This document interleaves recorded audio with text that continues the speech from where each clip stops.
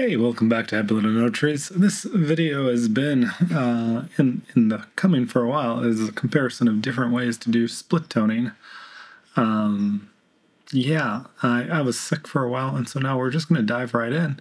I've been using for a while now, and been my favorite tool is this split tone from Mononodes over here. Um, let me just make sure someone's up. Yep uh, and has been by far my favorite uh, tool to work through and work with. The thing is, Pixel Tools uh, came out with their own, made by Carl Hendrickson, and there's a lot of the same settings. He actually has in here, uh, if you look at the curve, you can bring it up. You can actually bring this curve up and then just show that when we flip back and forth right out of the box, the thing that I still like about uh, Mononodes is the sophisticated looking curves that you put on the screen. So very fine lines. I don't like this big blap. There's their lines. It's a little bit less nuanced um, than this. Uh, and we can see so normally with mononodes, there's uh, the controls are for uh, when we look at it, there's high, green, or for all RGB is what I usually pick is what I, I like to use, and it lets us pick a high, a mid, and a low, and then also a pivot point to kind of shape that, and then also how hard it hits in that curve. So those are the curves, and that is generally, you know, like I like playing around with it. I like Personally, I like my blues to pop up first and then flatten out and let the reds be a little bit shallower uh, and then pick up and right over the top uh, and be a little bit hotter. So then you end up with that same like split tone look of, you know, a little, you know, sh- bluish in the shadows and everything. There is no forced uh, control to put the tips back together or to pinch the neutral point in the middle uh, is kind of one of the limiting factors to you don't you don't have that. You have to kind of just play it by ear and feel it. Uh, and you're limited to just seeing the curves and the ramp. You don't see uh, that. That's all the diagnostics. Maybe we'll have more in the future. Um, but yeah, just you play around with it and you can steer around and kind of make your own shape like that. Uh, Pixel Tools version uh, has the same RGB split. They actually have uh, RGB split. They also have um, hue based, uh, which, if I look at it, is similar. Uh, so I'm working on the advanced. The basic is, yeah. So there's basic, and then there's the advanced setting. So this is hue, but when you bring up the show curves, uh, oops. Nope, nope, nope. Wrong one. Bring it back. Oh no. Undo, undo, undo. There we go. Uh, yeah, so let's click on Pixel Tools and switch over. Uh, so yeah, you can see I've kind of already been playing around with it. Uh, and the other one is hue based. You have you can see patches with this. So you can see the high mids, the high mids and lows as you dial everything in where where those two those things are. Uh, they do have uh, a setting to force clean blacks and clean whites in terms of how you want that, and then a strength of how hard that pushes. So you can kind of draw your curves hue based like so, and then as you dial the high hue, uh, it automatically curves them to give you what hue you want on the high end.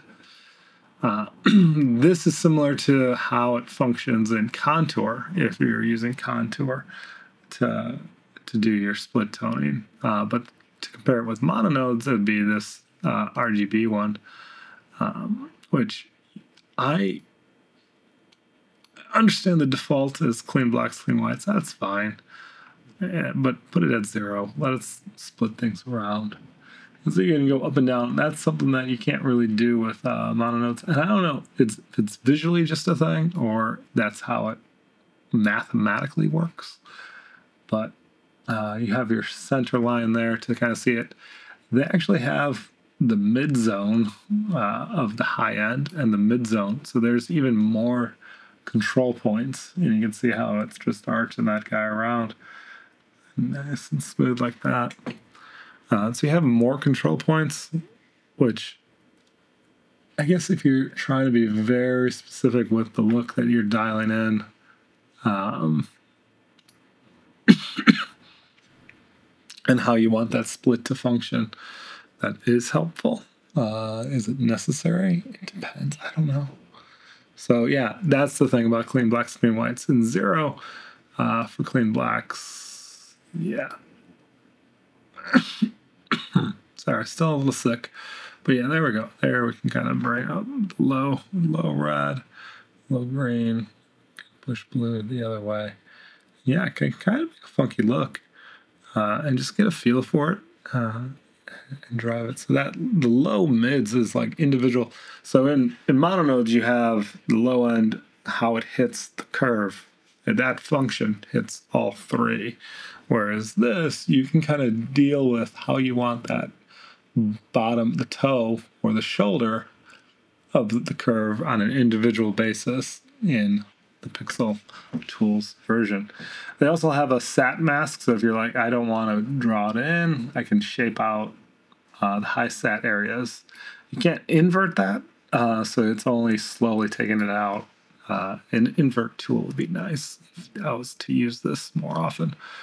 Uh, but then, uh, yeah, the neutral pivot, you can pick where uh, where that pivot line is, and then also how much of it is neutral. So you can neutralize the whole swath, and it's only affecting the outer edges.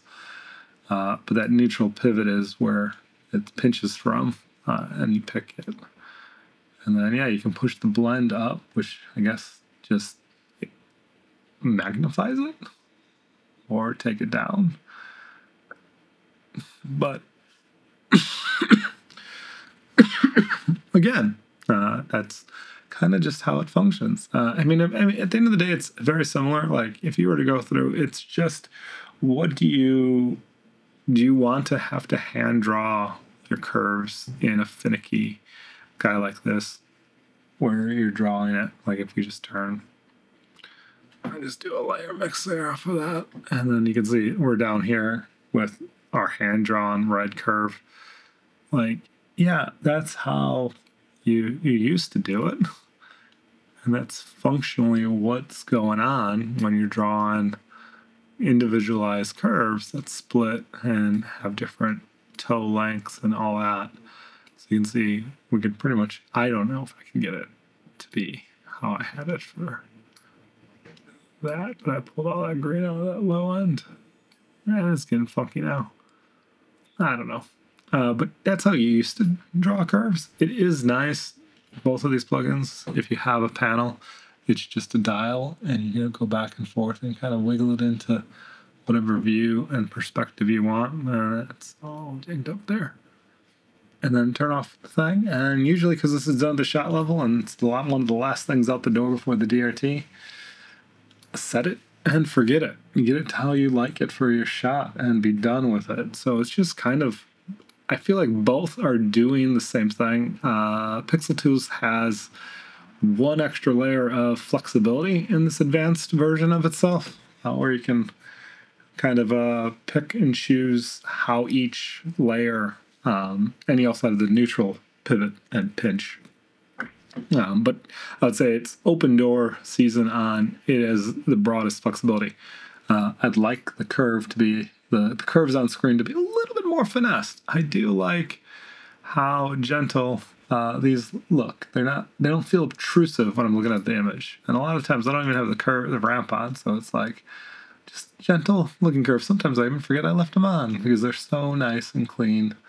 Uh, but yeah, you know, like you said here in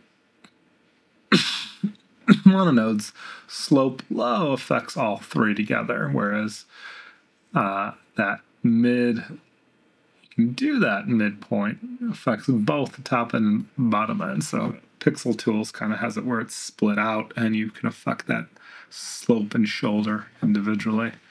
Uh, the other one is contour. Contour has its own uh, split toning tool as well, but it's hue based. So when you bring it up and you enable split, you get your high end split and your low end split.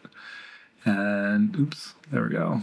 Uh, and you get to pick your high hue and your low hue, shadow hue, and you can see it just dials it in based on I want I want it to be an orange hue of some sort, and it's automatically drawing those curves on the top, and then you have I don't want it in the low end, I just want it in the high end. You can pretty much spell that around, and this just affects different strength points throughout the curve. Is it a low or a boosting, subtractive or additive uh, saturation color to it. Uh, it has a neutral pinch point that you can pinch down as well. Uh, and you can pinch the curves. Uh, floor divergence opens it up, closes it down, but very much similar settings. Uh, but this is the hue based one, which it's more limited in terms of how far you can push things. The sat mask has an invert tool, so you can uh, bring the sat mask in and have it just work different parts of the image, and you can invert that and work, you know, other ways. Uh, it just kind of depends on what you're doing. But yeah, contour a little bit more limited. Uh, has the nice finer drawn uh, curves. I wish it showed you which color those lines were, if they were RGB or green as you're dialing it around, because it's kind of just they're just a color and I don't know. um, but yeah, personally, uh, I like using mononodes. Uh, Pixel Tools is interesting just because of how you get that extra layer of dialability. Um, and so I, am gonna have to play around with it a little more to find out and see. But the reason I choose to use it as a set apart module is because uh, contour great, um, I don't, for what it does, when you want to be speedy and you want to be quick on some of the things, I love the saturation tool in Contour.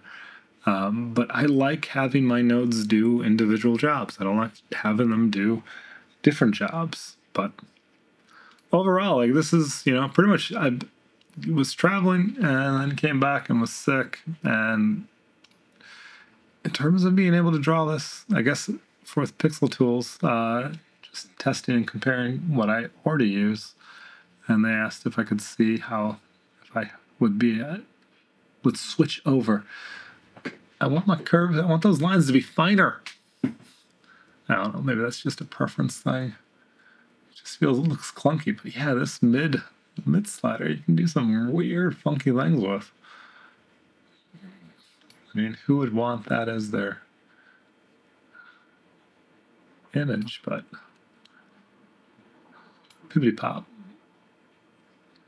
and draw these really, really fascinating looking curves. I don't know. Anyways, uh, that's all I got to say about that. Uh, I'll probably start keep playing around with it uh, and see what. I mean, ultimately, there is a finite limit to the range of flexibility and the colors and the things. It's, it all depends on the look that you're trying to build. Um, this does offer way more choice. And maybe that's a good thing, maybe that's a bad thing, and maybe I'll second guess myself. But yeah, excuse me. Hopefully, you enjoyed taking a little walksy poo through seeing uh, how Mononode stacks up against Pixel Tools. I didn't really push them in a stress test way.